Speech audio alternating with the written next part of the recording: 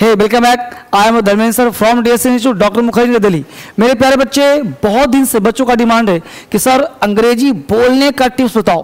कैसे how to speak English कैसे English बोले? तो सबसे पहले दो बात आपको सलाह दूँगा कि आप अंग्रेज़ी बोलना चाहते हो तो बोलना चाहते just you want to speak English तो अंग्रेज़ी आप बोलना चाहते हो तो पहले आप अपने को देखो कि भाई आप कितना जान रहे हो, कितना नॉलेज है, क्या स्थिति प्रेजेंट स्थिति क्या है। मैं आपको तीन टिप्स दे रहा हूँ। मात्र तीन टिप्स के सहारे अगर आप बारीकी से पूरा वीडियो देख लिया तो इस तीन टिप्स के माध्यम से आपको अंग्रेज़ी बोलना काफ़ी आसान हो जाएगा।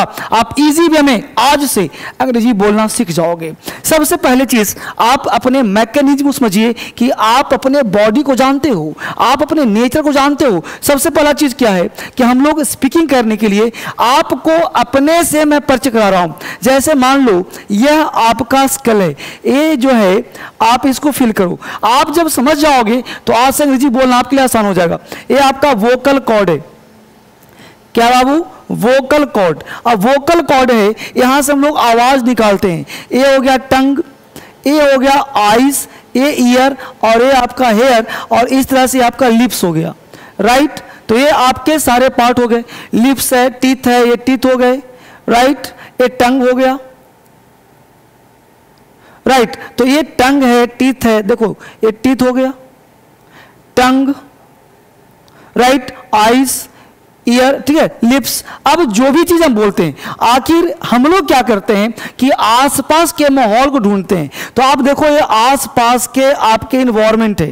तो आसपास के लोगों को हम लोग कोशिश करते हैं कि लोगों को सुधारें। और हम लोग क्या करते हैं कि अपने पार्टनर से, अपने दोस्तों से कहते हैं कि मिलकर अंग्रेज़ी बोला जाए। आपने एक लाइन बोला, वो व्यक्ति चुप हो गया। उसने एक लाइन बोला, आप चुप हो गए। तो ये हमेशा हम लोग समाज में एक दूसरे के साथ बोलने का प्रयास करते हैं। और आज तक अंग्रेज़ी बोल नहीं पाते। अंग्रेज़ी बोलने की मात्र तीन ही टेक्निक है। अगर आप इस तीन टेक्निक को समझ गए तो अंग्रेज़ी बोलना आपकी लॉलीपॉप हो जाएगा और आज से अंग्रेज़ी बोलना आ जाएगा। बस तीन टिप्स को देखो।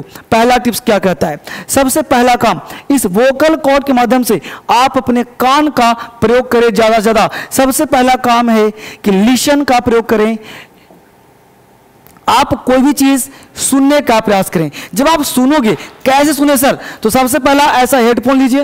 हेडफोन को यहाँ लगाइए और लगाने के बाद कोई भी मोबाइल हो मोबाइल में आजकल बहुत सारे राज्यसभा टीवी हो गया बहुत सारे चीज़ है ना बीबीसी हो गया ए, है ना कोई भी न्यूज़ चैनल से लगा करके आप उसको सुनने का प्रयास करें। जब आप सुनेंगे तो सुनने से सबसे क्या है? लिशन जब आप सुनोगे तो बड़ा आँख बंद करके ऑब्ज़र्व कीजिए कि आखिर क्या बोल रहा है? आसपास के वातावरण से दूर हो जाइए और एक एक वर्ड को एक एक साउंड को एक एक लेटर को एक सेंटेंस को बड़े बारीकी से सुनिए। जब आप सुनेंगे तो सुनने के बाद आपका दिमाग काम करेगा कि भाई किस तरह से कौन सा वर्ड बोल रहा है। तो एक एक वर्ड को आप सुनने का प्रयास करें और एक एक वर्ड को उसके साथ प्रोनाउंस करें क्योंकि कान बंद हो गया। चारों तरफ़, ऐसा मैं इसलिए बता रहा हूँ कि हेडफोन जब लगा लोगे तो आसपास के वातावरण से हट जाओगे। और शांति से सबसे पहले सुने, जब आप छोटे बच्चे थे ना तो आप साइंटिफिक अप्रोच में दे रहा हूँ, जब आप छोटे बच्चे थे तो सबसे पहले कैसे सिखा था? क्या स्कूल में गए थे? क्या कॉलेज में गए थे? क्या माता पिता सिखलाया था? ना, कोई ने किसी सिखलाया? आप अपने माता पिता को फॉलो किए। जो बोला, आप सुनते गए। जिसने जो कहा, आप सुनते गए। धीरे धीरे ऑब्ज़र्व किए। धीरे धीरे पापा, मम्मी, दादा निकालना शुरू किए। यानी आपने चीज़ों को एडजस्ट किया। आप आप पहले सुनने का प्रयास करें, क्योंकि बचपन से आज तक सुनने की आदत लगी है। हम लोग सुनते नहीं, बस अंग्रेज़ी बोलना चाहते हैं, बोलना चाहते हैं। सुनने का ध्यान देते। सबसे पहले आज से क्या करना है? सुनना है। तो सबसे पहला काम लिशन करो। अंग्रेज़ी सबसे पहले सुनो, जितना सुन सकते हो। ये मत सोचो, सब बोलना नहीं आता। मैं तुम्हें बोलना नहीं सिखा रहा। सबसे पहले जड़ पे काम कर रहा हूँ। आज से बोलना आ जाएगा। आज से आप काम करो, सबसे पहला काम लिसन। तीन ही टिप्स है। पहला टिप्स, लिसन करो। जितना हो सकता है, अंग्रेज़ी आप सुनो।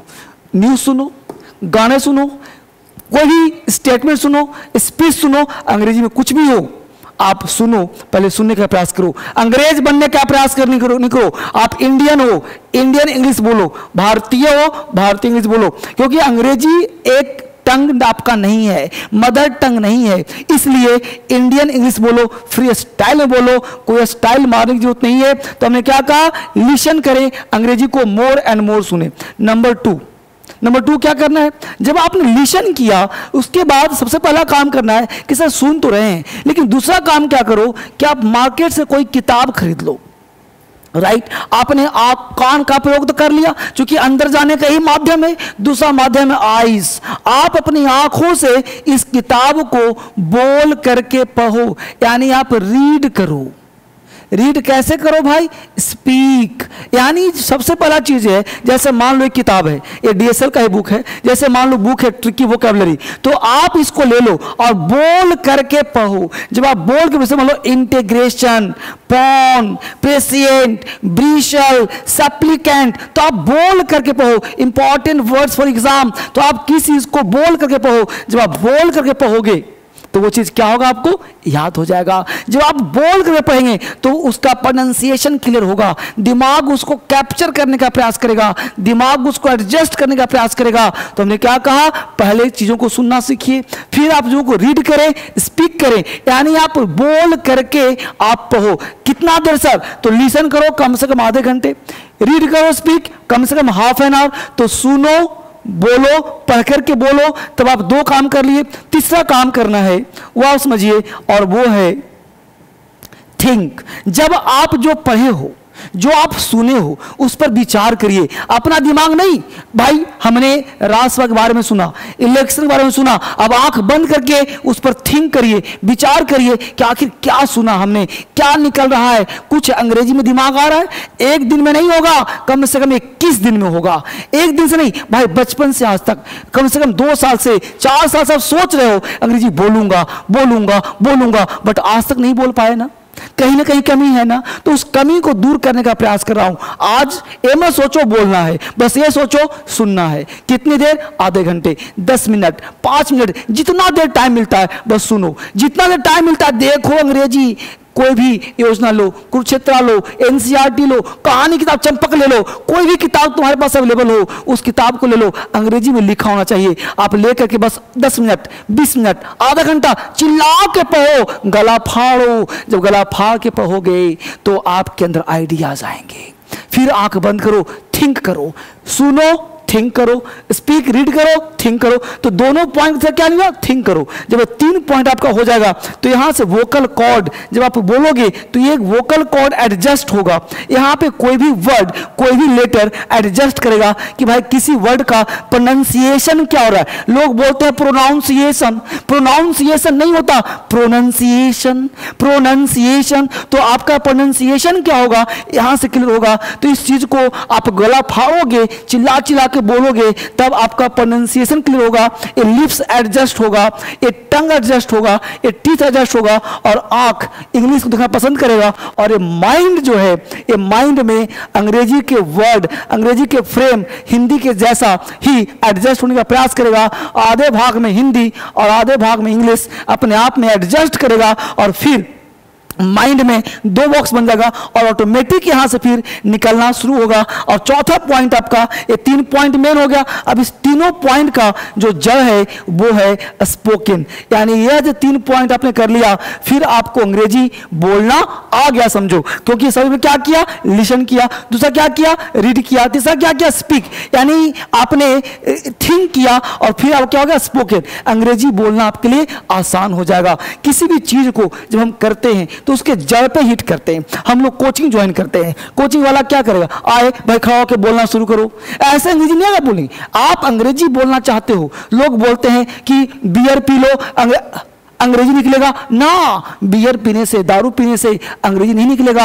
आपको अंग्रेज़ी बोलना है तो जड़ पे काम करो। जिस चीज़ में समस्या है, उस चीज़ को हिट करो। क्योंकि लोग कहते हैं कि भाई, अंग्रेज़ी बोलना है तो आसपास के माहौल अंग्रेज़ी का बनाओ। माहौल कहाँ से लाएँ? आप नहीं बोलते, किसी दूसरे को कहाँ से बुलवाएँगे? सबसे पहला चीज़ है, माहौल नहीं मिलेगा। दारू पीने से नहीं होगा। होगा कैसे? जड़ पे काम करने से। मेरे दोस्त, सबसे पहले जड़ पे काम करो।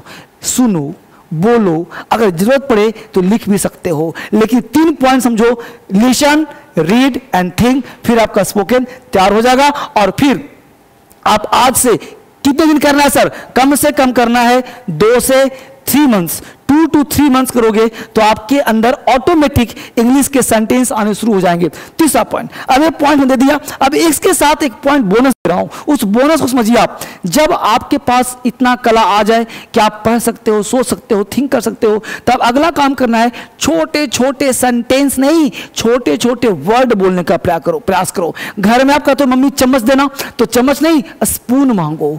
कटोरी देना, वाउल कहो।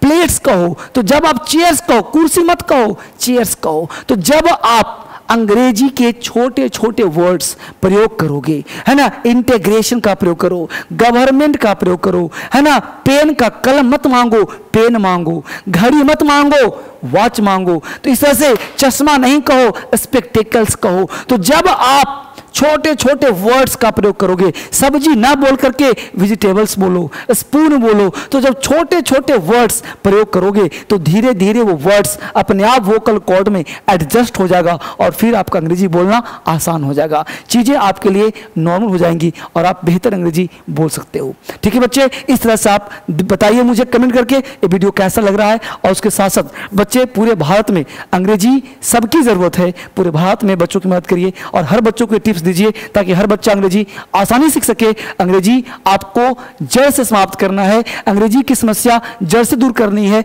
तो मिल करके काम करेंगे। मैं टिप्स देता रहता हूँ, पढ़ाता रहता हूँ। स्पोकन का हमने और भी बहुत सारे वीडियो दिए हैं इस चैनल पे। तो आप इसको देखिए और सर्च करिए स्पोकन के लिए। और मैं धर्मेंद्र सर, हमेशा आपके लिए अच्छे अच्छे वीडियो लाता रहूँगा। आप सबको बहुत बहुत धन्यवाद।